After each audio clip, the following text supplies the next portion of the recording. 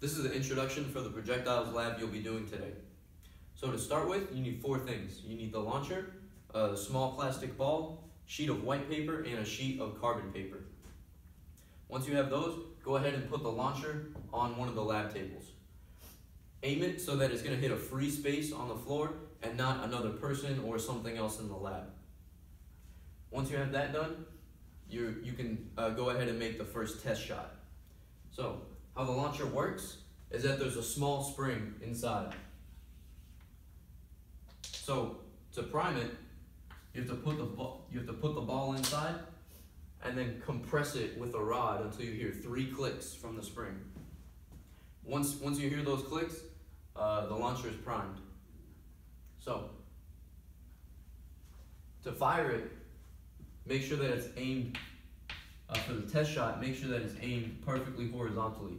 There will be a small angle gauge on the side to make sure that you don't, to make sure that it's perfectly level. Once you're ready to fire, there'll be a small string at the back Go ahead and pull it and the ball will shoot out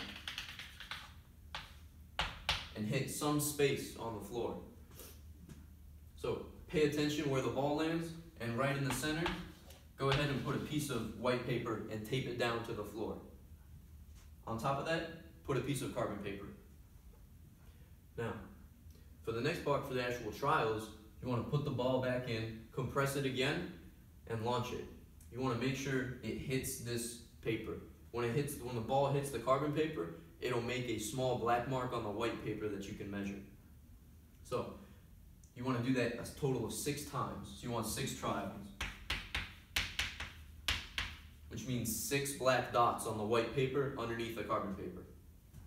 Once those trials are done, you need to measure a couple things. The first off is the horizontal, or the vertical distance traveled by the projectile.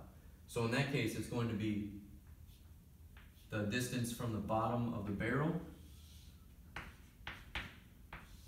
to the floor. And I'll go ahead and call it delta y because it's in the y direction. Then you have six different measurements over here, so you need to measure the horizontal distance traveled. So take right from where the ball leaves the launcher and measure that.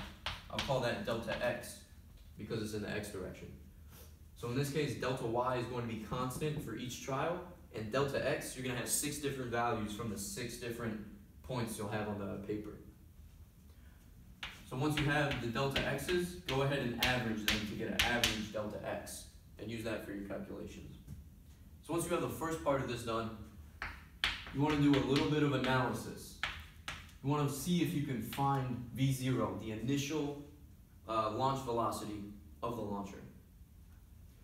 To do this, I'm going to kind of guide you through it, give you a couple hints. During the lab, uh, I'll be here and Professor Bond to help walk around and help you figure it out. So the first part is, usually in kinematics, we were only moving in one dimension, either in the x or the y direction, but now the motion is in the x and y direction. So we don't have any equations to describe both dimensions, so what we have to do is split it up into an x part and a y part.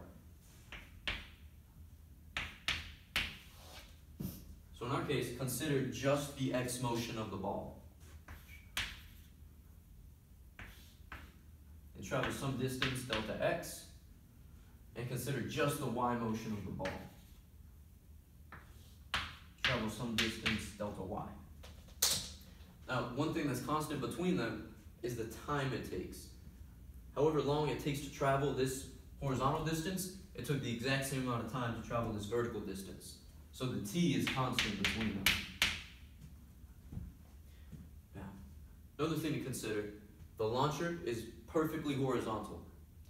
In that case, the initial velocity, velocity the ball launches at is only in the x direction. So I'll put v0 on this side, the x side. Now, if we want to consider just the y dimension, give you something to consider.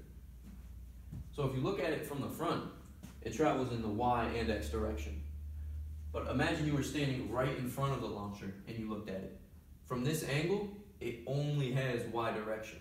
It's going to look just like a free fall, just like a free fall. So, for help with the y, consider it as free fall motion. So, if you consider it as free fall, there's two more assumptions that can be made. The initial velocity in the y direction is what? And the acceleration in the y direction is what?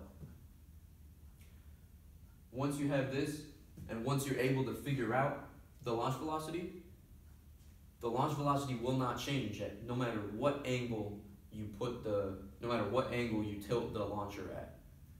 So in this case, for the next part of the lab, if we know the launch angle, if we know the launch speed and the launch angle, we can calculate how far the projectile should go. So in this case, we're going to launch it at a 20 degree angle. So now we want to make a prediction.